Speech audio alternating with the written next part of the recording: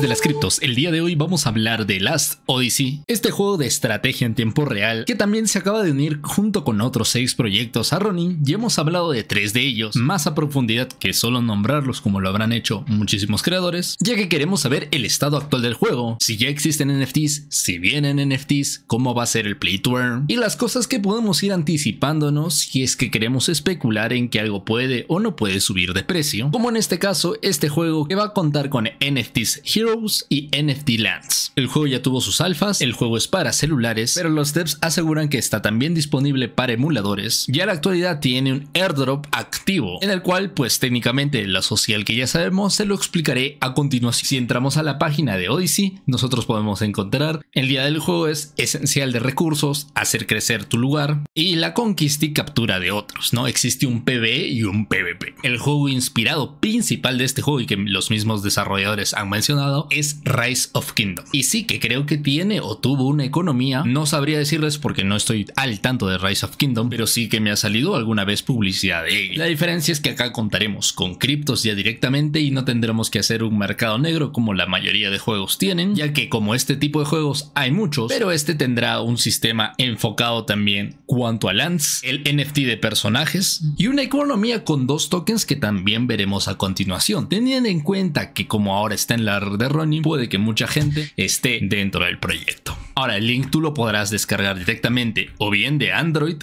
que estará disponible en la App Store y en la Google Play, y los alfas estaban disponibles acá según lo que han comentado. Que el download esté en Coming porque ya se viene la beta. La beta que no estoy seguro si es para todos, pero que está pronto. Ahorita existe un Odyssey Pass, ya que este juego estaba en la red de Ethereum, por lo menos estos NFTs estaban en esa red, y si tú quieres alguno de estos que están más de 500 dólares, pues puedes hacer. El supply es bastante limitado, como pueden ver de los owners y los ítems que manda. Bueno, aparte de lo más importante es ver el roadmap y ver más o menos lo que ya han hecho en este tiempo. La versión jugable pues salió a inicios en el Q1 con las básicas alianzas y social, el diseño, el concepto en héroes, lands y otras cosas in-game y ya para el Q2 lanzaron la Close Alpha, el testeo número 1 y bueno, se añadieron al juego el Hero Talent Tree, un sistema de Hero Batalla, ojo que el Q3 aún se supone que continúa. Ahora, no sé bien si esto ya salió, creo que no, y que andan atrasado con esto, ya que se supone que ahora para el Q3, ahora acaba septiembre y ya llegamos al Q4. Entonces, técnicamente, no estoy seguro si a comienzos o en el transcurso de este tiempo ha habido una Alpha Test 2. Si alguien está más metido en el juego, lo puede dejar en los comentarios, que yo recién estoy investigando el proyecto y te estoy trayendo toda la información que tengo de mano. con esto llega los Hero NFTs Sale, o sea, la venta de Heroes, la cual nos serviría para farmear tokens a la par, eso ya lo explicaré más adelante. La integración de los wallets, eso sí, pues sí sabemos que ya está, o por lo menos en la página web, y el sistema de extensión de territorios de la alianza. Ahora, si esto ya salió y yo no lo sé, se supone que ahora empezando el Q4 de este año llega la beta test, o sea, ya para la mayoría, con venta de lands, introducción de los reinos contra reinos y la guerra masiva, el PvP del Realm Conquest, e integración de los tokenomics. Si esto está atrasado, pues técnicamente sería pasarlo un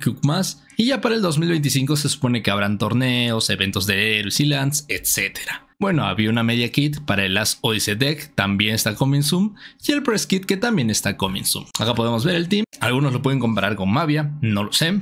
Yo Mavia solo hice el airdrop y ahí lo dejé, no les miento, si alguien está más enterado de estos y puede confirmar que es así, o como Clash of Clans, ¿no? No sé qué tanto se parezca a estos juegos, tienen pinta, mas no los he probado al 100% para decirles que sí. Bien, vamos a hablar de los tokenomics y acá tenemos el ODY o el ODI, solo habrá mil millones del token, es un token limitado, se supone que debería llegar ahora a finales de año, si es que están atrasados posiblemente el próximo año a inicios, y se va a repartir por el PvP de guerras, entendiendo los que se vienen que son de NFT Real Conquest y el War of Tron. Parte de las utilidades del token serán necesarios para las alianzas, para la gobernanza, mejoras de edificios, generación de comandantes NFTs y la compra de NFTs como tal. Y se obtienen, como ya mencioné, en la conquista específica de algunos edificios como capitales, tronos, reinos, esas cosas. Teóricamente se obtendrán también conjuntamente con las lands. Así que en un momento las lands van a ser de suma importancia si es que quieres ser parte de este este juego activamente. Acá el War Token ya no necesitas la LAND. Este sería como el SLP. Es un token inflacionario. No hay una capacidad límite y que sería temporalmente off-chain. Pero sí sería necesario. Se va a obtener en la aventura, en el PvE, en el farming, en, en algunos quests. Y es necesario para el entrenamiento de tropas, para el desarrollo de la tecnología, mejoras también del building y como un sistema de stake para el bufeo en las alianzas. Acá podemos ver cómo es el tokenomics. Acá lo puedes ver un poco más detallado si es que quisieras. Ahora, según lo que he estado viendo de información antigua, el ODY o el ODINOMA como tal, no solo tal vez necesite de las LANs, sino también de los NFT Heroes. Así que lo que va a ser necesario para ganar lo más recompensario del juego es tener NFTs al final. Si es que te gusta este tipo de juegos porque van a ser necesarios. Ahora, si solo quieres ganar el War Token, no lo vas a necesitar. Pero no te preocupes que de repente estas lands no cuesten tanto. ¿Por qué? Porque en las lands habrá en total 160 mil. ¿Por qué? Porque son necesarias. Y 10.000 commanders técnicamente. Y bueno, si podemos ver el sistema de lanza acá, podemos encontrar cuatro tipos especiales. Bien, otra de las cosas importantes también serían los NFT Heroes que ya los mencionamos. Estos Heroes tendrán 10 especialidades y cuatro atributos esenciales que son de lucha, de producción de suerte y durabilidad. Que adicional de tener mejores atributos y posiblemente mejoras en la especialidad, se suponen que también serán mejor para la rentabilidad económica. Ahora, en la página hay un farming actual, hay un airdrop. Esto es lo más importante ahorita, ya que todo lo demás es a futuro cuando estés interesado en el juego. Hay un airdrop de un millón de tokens ODI. Recordemos que es el, el ODI es el token más importante, va a tener un supply limitado y acá tenemos el social principal. Cuando yo vi esto me metí a los anuncios y quería ver cuándo acababa para darles la información concreta y que el evento continúa y no hay una fecha límite actual, que puede ser a fines del próximo mes, pero lo pondrán en su momento en los anuncios cuando digan cuándo va a acabar. Así que tenemos tiempo de momento si es que quieres aprovechar y participar, si es que le ves una rentabilidad a solo hacer pues tareas sociales en, general y pues lo que tenemos que hacer es conectar la wallet. En este caso ya tenemos la opción de Ronin Wallet. Vemos que ya está en los checks verdes. Si le sale por algún motivo el, amarillo no se preocupen que ya está confirmado por Ronin. Como el juego aún no está optimizado al 100% en Ronin nos va a cambiar de network. Y bueno simplemente hay que darle a sync. A mí me ha conectado en la BNB Chain. No estoy seguro si es que antes estaba ahí pero vi que la LANT estaba en Ethereum Mainnet si no me equivoco poco raro pero bueno lo importante es que al final todo va a estar en running. Bueno, acá tenemos conectarnos a Twitter, like y repost de Twitter, retweet y post, follow, etc.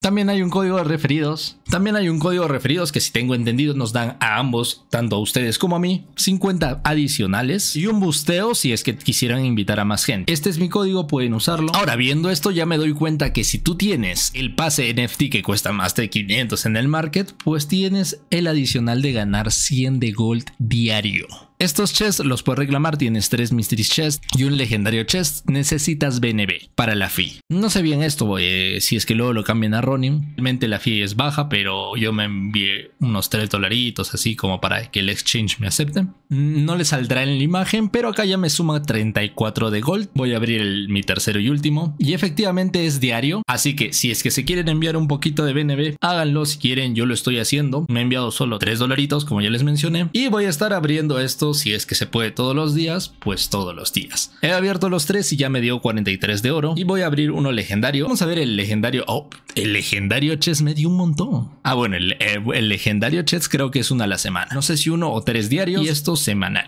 se me vuelve a actualizar en cuatro días. Habrá un leaderboard de este farmeo. Ya sabes que si quieres tener un NFT de estos, eres una ballena y quieres ganar 100 diarios, pues hazlo por ahí. O sea, según esto, tengo entendido que esto nos da, desde que ya conectamos la wallet, creo que nos da un porcentaje por hora adicional a esto. Y si lo bradeo aumenta mi capacidad, voy a estudiar más esto, no estoy seguro si no necesito necesariamente esto, pero acá me figura 0.8 por hora. Bueno, vuelvo en 2 para ver si me aumenta esto y se los dejaré en los comentarios. Nos vemos la próxima.